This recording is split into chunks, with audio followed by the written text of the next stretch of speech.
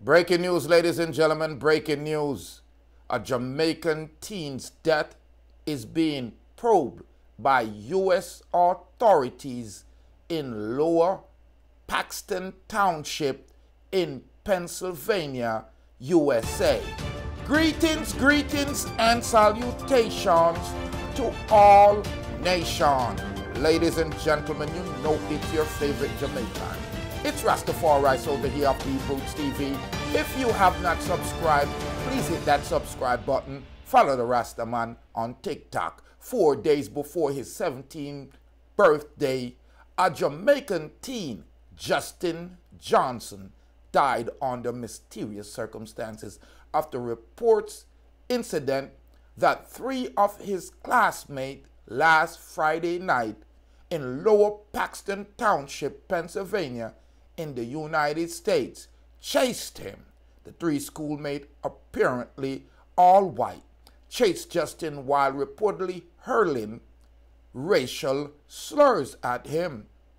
A 16 year old Jamaican who was been sick, sickly with sickle cell, managed to run inside his house, but shortly afterwards contacted his father, telling him that he had difficulty breathing.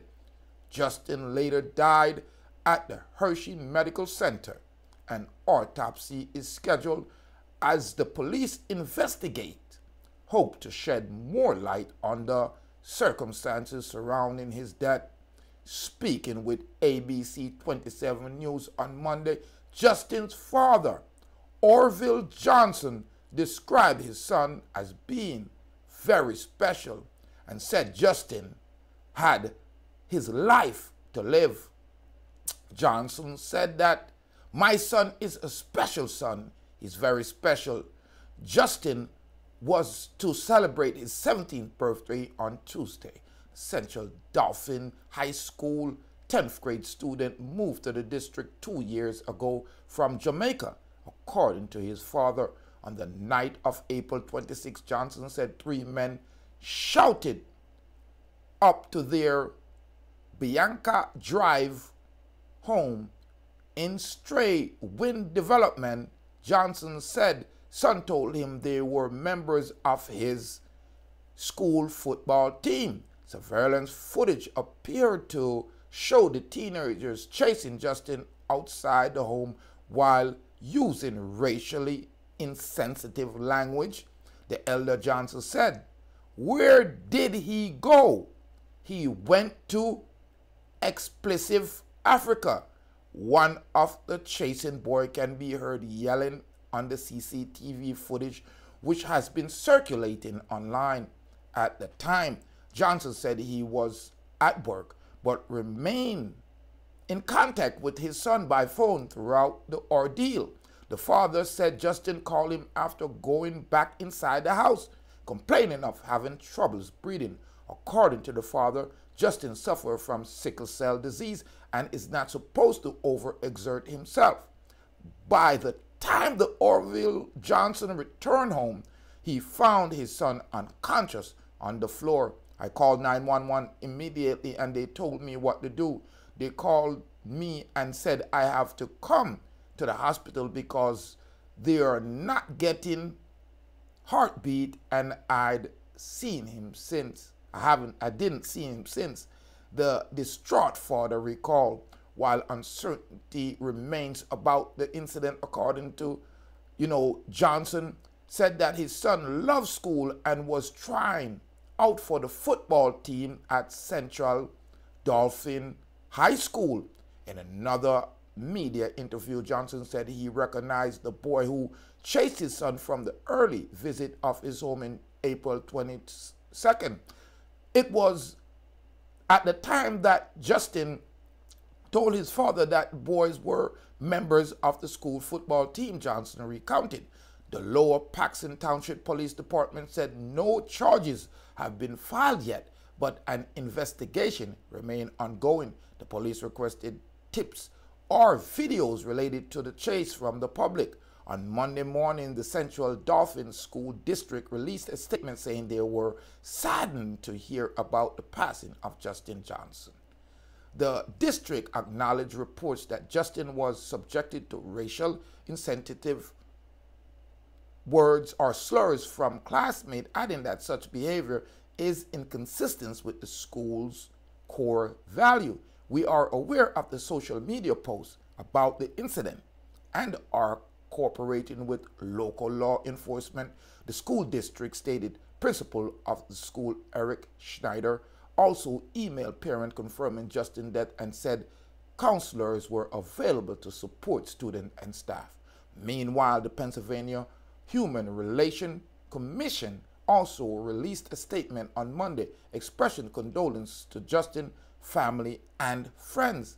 The agent said it is very concerned about the allegation of racist action and is willing to continue to monitor the situation.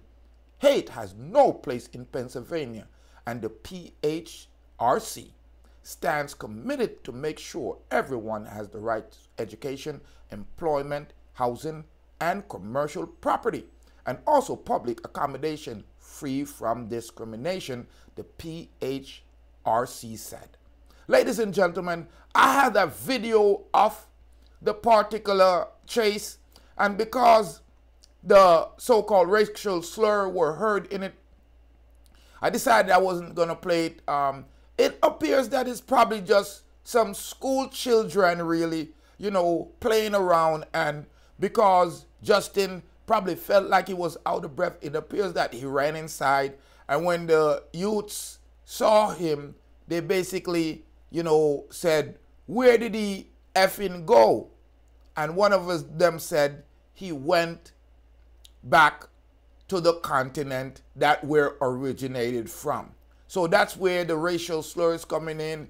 It, you know, we would have to have a conversation with the youth to see if they were cool like that because, you know, sometimes that's, you know, you know, terminology, but there's nothing really behind it. So, you know, my condolences to Justin Johnson's dad. It is Orville Johnson. It is a tragic when a parent have to, you know, bury a son and it is, you know, sad because, again, it's a Jamaican. And we don't want our youths to go to America, lose their life under any circumstances, ladies and gentlemen. So my condolences to the families and the friends and the schoolmates of Justin Johnson R.I.P. youth, may your soul rest in peace. I'm Rastafari Soldier, ladies and gentlemen. Chime in on this one. Let me know if you think that, you know, there was some kind of, you know, racial, racially motivated situation because, like I said, you know, all I saw on a little 13 or 15 second video was that the youths, them were chasing him. And it appears that, you know, in another article I also read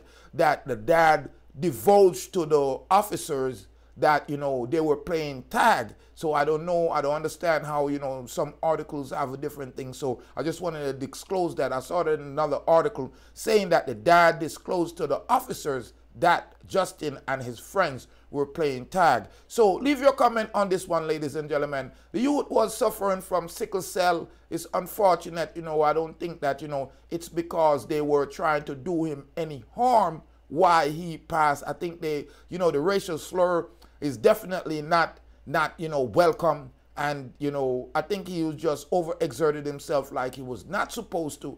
And at the point that he was trying out for the football team, I think that he did not understand how serious his sickness or his illness was. Ladies and gentlemen, leave your comment for me though. Let me know what you think if this was some kind of racially motivated act or it was just a youth sick, overexerted himself, playing with some schoolmates, and it's an unfortunate utterance of, uh, you know, term that sounds, yeah, racist. But, you know, you can't make everything what people say about you or to you hurt you. You are going to take a sticks and stone breaks bone. Don't let all the words hurt you. Some of my words them hurt. Big up on yourself, family and friends. Leave your comment on this one for me.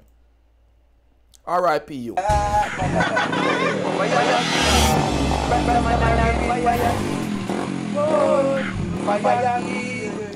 Fire, fire, fire, fire, fire,